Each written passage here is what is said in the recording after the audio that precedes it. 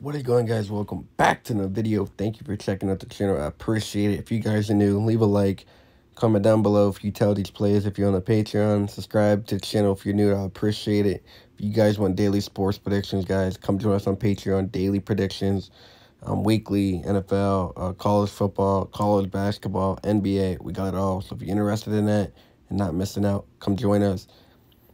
Um, birthday week this week, this Sunday. So um, on Sunday, we appreciate them vibes, appreciate that love, and uh, come come that day if you ever want to. I mean, if you want to, you know, hook your boy up with a gift, support the drinking or dinner for that day. Let me know down in the comments below. I'd greatly appreciate that. Um, I give back by providing winning plays, winning content, and on YouTube. Stay tuned. I might have a winning play for you guys this week. Stay tuned for that. But on Patreon, we do it every day. Um, unless there's no good riddles. But yeah. Anyways, guys, I want to talk about how rigged and scripted the sports are um, for Monday and why we went 2-0, perfect day. Both underdogs cast, near plus 250, 300 value. We had the Kings to beat the Cavaliers. This was a pretty easy riddle here. They won by 12. We had the Kings to win. The game was nearly posted 12 hours ago, well before the game was played. The Cavs, we like them to fall a 3 and 3 way. Cleveland equals 33. Kings improved the 4 1 at home on the season. 41's the 13th prime number on the 13th. I said I favored a slight three point dog Kings. And they indeed get it done. As you see right there. Look at Cleveland now. Three and three away. Keep an eye on uh see what happens if they uh just keep an eye on that.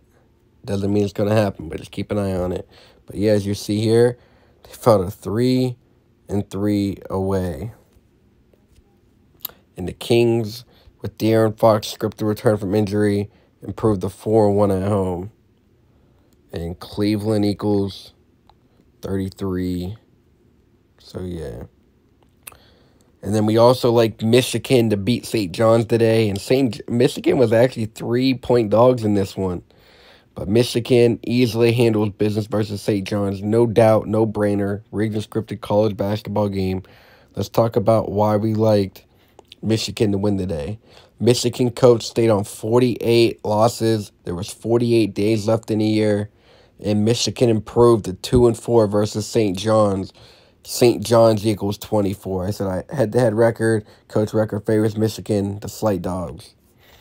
And check at the halftime. Look at that. Michigan had 48 points at halftime. On the day leaving, 48 days left in the year, as the coach stays on 48 losses.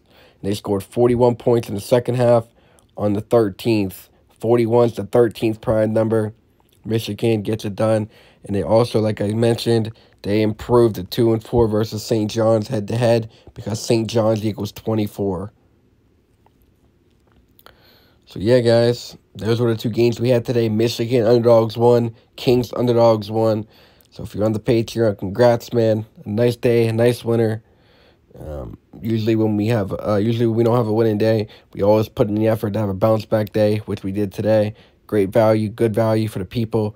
We're looking to do it the rest of the week and tomorrow as well. Like I said, if you don't want to miss out and you're not already, you want to join the Patreon, you can come access, get access right now. Um, we have two different tiers. If you want NBA and college only right now, five dollars. If you want everything, including NFL and college, the latest tier, ten bucks. Also get access to my Discord as well, where you can interact with the community. And uh, yeah, guys, let's keep the winning coming. But more importantly, more the morale of the video is to expose how rigged and scripted all these sports games are. No doubt, another brainer tonight. Congrats, guys. Let's keep